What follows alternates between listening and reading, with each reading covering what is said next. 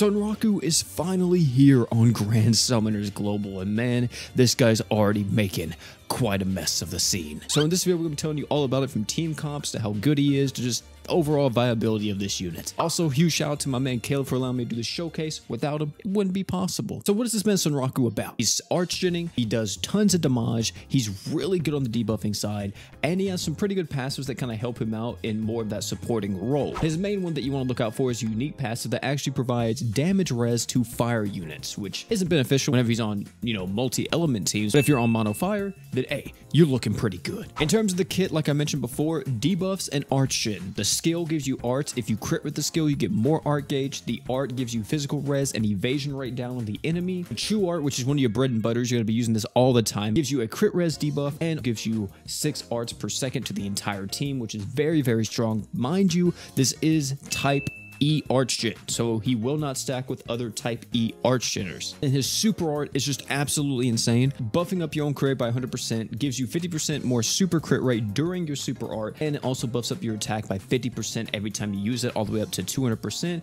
which the attack buff is kind of whatever. The main thing you're looking at here, though, is the super crit rate along with the huge multiplier. Dude hits freaking hard. As for his slots, he has a 5-star physical, 5-star support, and a 4-star physical. In terms of best in slot for the 5-star physical, you want to be using anything that's going to be giving him art gauge and sustain comps, or you want to be using something that's going to be buffing up his damage in nuking compositions. For the 5-star support, if you're in sustain, AoE arch items, limbs, clothes, Goku uniform, even the new one that came out from his crossover isn't necessarily too bad, but you can still use it, his bandana, all of that stuff will be insanely good. If you don't have that in sustain, don't worry, you can always opt in for a lesser demon heart or if you were here during Tensura, make sure you make use of the sealed mass you farmed. As for nuking compositions, you know, it's the usual here, ladies and gentlemen. Type 0 or you're going with Axis. You're picking one or the other, and you're going to be having a great time. For the 4-star physical, if you're in Sustain, highly recommend that you go something like B3 Claw, or you can go with the Blaze Coil if you're using him in more nuking compositions, or you can rock out with any other 4-star physical that's going to be buffing up your damage or attack for the whole team, whatever the case may be. And now as for the crest slots on this guy, let me tell you right now, he actually has a few options. You can go with quite a bit. I would first and foremost pick attack up and art gauge up. And as for the last one, I would decide between one of the damage up crest, so something like POFG, crit damage up, or the other one I can't remember right now. Is it Curse Frost? I'm pretty sure it's Curse Frost. And you already know, we can't do a showcase without showing off the animations for this unit. And if I'm not mistaken, a lot of its animations are relatively quick. So we have his attack skill first, as you see, just a few slices, looks cool. We have his skill here, which is a little bit of a charge, a little bit of a slice right there. We have the art, which is actually, we're going to see this later on too, the kind of twirl, the tornado in front of him.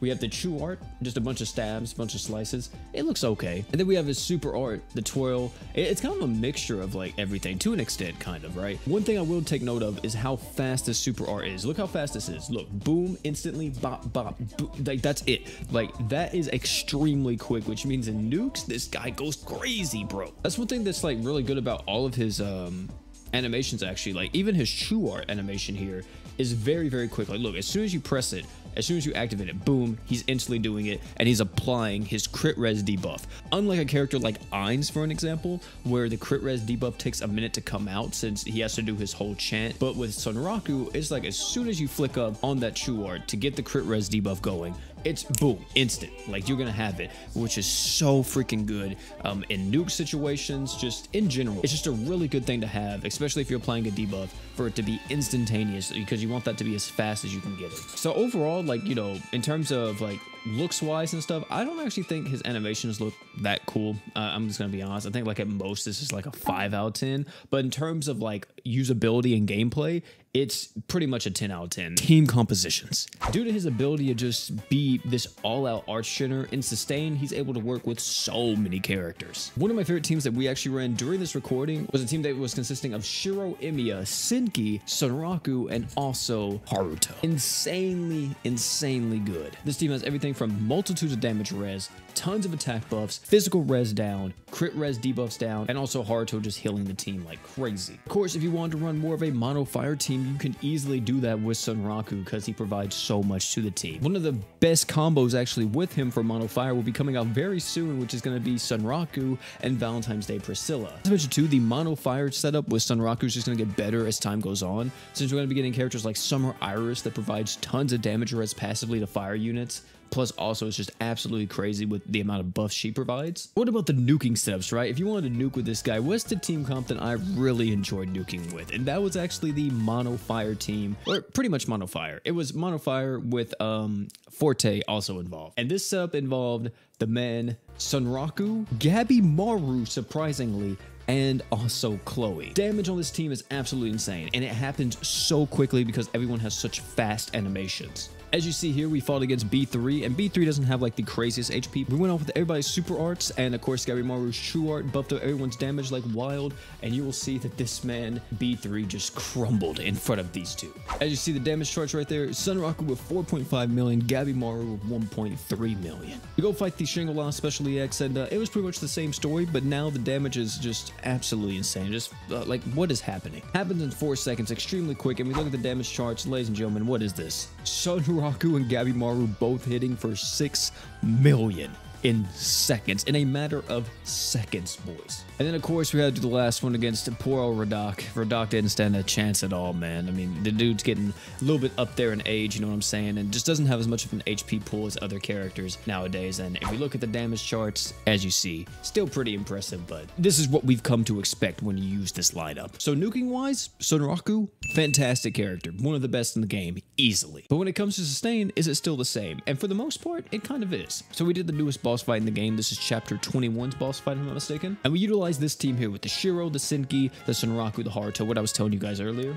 This boss died so freaking quick. This is the fastest I've ever seen his HP bar just get depleted like this in the first wave. Usually like the first round or his first threshold, it's a little bit dicey sometimes depending on the team comp you're using, but literally with Sunraku, it's like, nope, um, he just kind of destroys it instantly. And it's wild too because I don't even think this is his best team comp. I personally don't believe we're seeing Sunraku at his peak. Seeing the damage that he's already doing is just ridiculous to me. So yeah, pretty much this boss didn't stand a chance against us. Even whenever he put up the crit res, it did not matter whatsoever. Because whenever Sunraku used his super art, guess what? Sunraku can actually crit, even with that. Since he's lowered the boss's crit res, he's buffing up his own crit rate by 100%. He's able to get over the boss's monstrous crit res with that. He's literally like his own engine, and I love that so much. Look at the damage charts. Jesus! Ah, 27 million with Sunraku like it's nothing. And as for the last fight we did, we did Emmy. I mean, we all knew how this was going to go. Emmy just got absolutely decimated by Sunraku. Dude did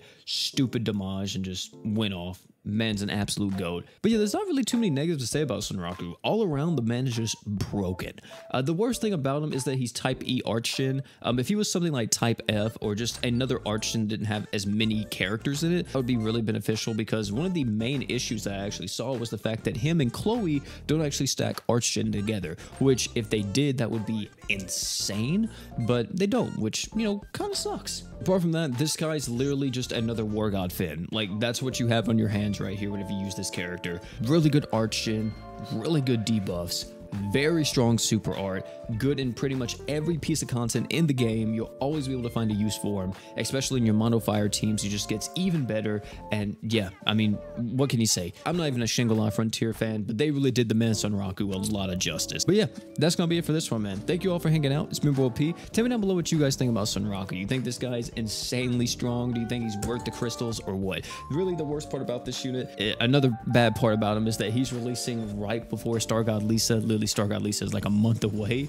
But still, you know, he, he's definitely worth a summon, at least. He's worth a multi, bare minimum. Hopefully you get him within that multi, because uh, I didn't get nothing. Ladies and gentlemen, thank you all again for coming out. And last not least, you guys already know, don't forget to drink water.